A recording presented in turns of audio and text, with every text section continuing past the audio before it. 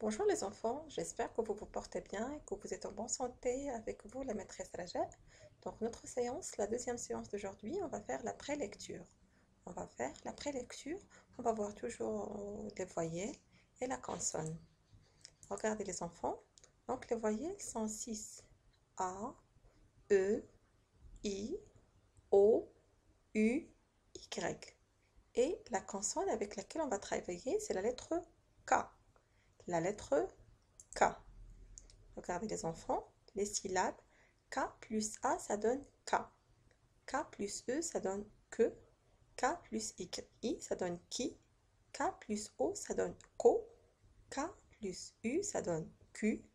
K plus Y, ça donne qui? K, que, qui, ko, Q, qui. D'accord, mes chers enfants?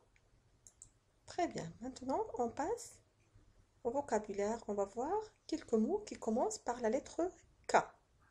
Regardez. La première image, les enfants, qu'est-ce que vous voyez? Kiwi. Kiwi, c'est un fruit, donc originaire de Chine. Regardez, kiwi.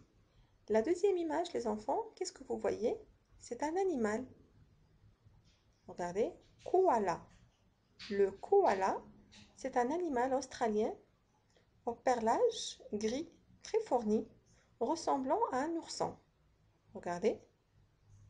Koala. La troisième image, qu'est-ce que vous voyez les enfants?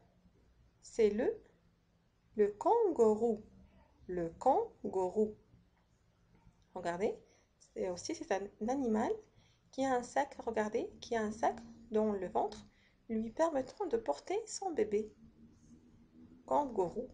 Regardez donc les trois mots, les enfants commencent par la lettre K. Kiwi.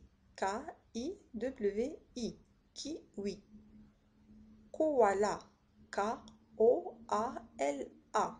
Koala. Kangourou.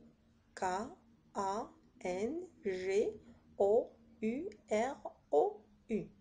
D'accord, mes chers, mes chers enfants? Très bien. Donc la séance d'aujourd'hui est terminée.